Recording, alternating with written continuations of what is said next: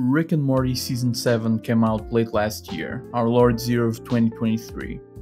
I only watched it recently, and I have to say it's the weakest season of the show so far. With that being said, I still enjoyed it. There were some really great episodes and some, uh, let's say, not so good ones. The first episode of this season was definitely an episode of television, I'll tell you that much.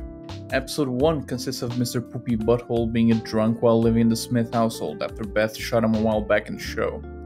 Beth wants Rick to make an intervention for him and to get him out of the house. This episode is not good. To me, it's one of the worst ever episodes of the entire series. Nothing actually happens here. Rick just gathers a bunch of side characters like Bird Person and other canonical friends, and then they go on drinking instead of making an intervention, with Hugh Jackman somehow being a part of the episode, by the way. It's a very weak start to the season, the weakest season opener in my opinion, and it brings the vibe down for the first few episodes with the first genuinely good episode only coming in episode 4, the spaghetti episode. That's the only thing I'll say about it. It's a must watch this season. This felt like filler, but not in a good way. Usually, filler episodes are the ones we're looking forward to, something like the Vat of Acid episode. This felt like a filler, and usually that doesn't happen on this show because all episodes are good, but not this time. The other bad episode, and this one I would say is actually bad, is episode 8, the one about the war between the numbers and the letters, you know, from that one gag a while back with Ice-T. This one is most likely the worst episode of the entire show. I wasn't even annoyed with this one, I was just wondering who this episode was made for, because the fan reception was awful. On IMDb, this episode has a 4.5 rating, by far the lowest ever rating on this series.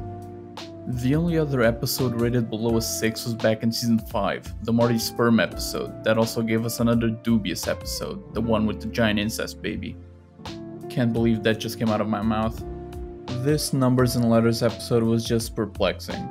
It was made just to fill out the space of an episode, besides being the only episode in the show without Rick, which is a very odd choice for such a weak episode. Both of these episodes could have easily just been an after credits scene gag that lasts for about a minute or two. Let's talk about the good ones now. Episode 5 was really, really good. It's one of those canon episodes where the story of the show actually moves forward. And this episode was about Rick finding Rick Prime with the help of Evil Morty and, spoiler alert, killing him. That's right, Rick Prime is dead and we also got confirmation that our Morty is Rick Prime's actual grandson. This was an excellent episode, and it shows us that the writers can deliver, but only when they want. Now, the other fantastic episode was the season finale, where Rick and Morty are invited by a strange man to visit a whole lot of Denny's. Random, I know, since they were looking for something really scary to experience, because they have become desensitized by their adventures and don't get easily scared anymore. Now, I believe people should just watch this one since it might just be one of the best ever episodes of this show, so I'll just say that Morty discovers a lot about himself on this one.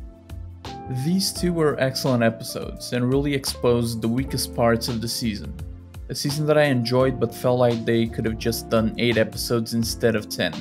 We'd get less episodes, but the overall quality would have improved a lot.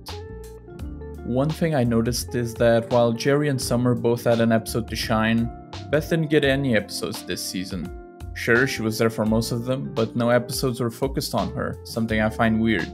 Maybe Sarah Chalke had other commitments and couldn't be in the studio as much to record or something, but Beth barely had anything to do. Hopefully that'll change in season 8.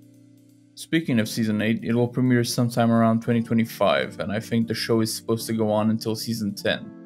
Hopefully next season the show will bounce back, because season 7 lacked consistency throughout its 10 episodes, but we'll have to wait and see though. Anyway, that's about it. See ya.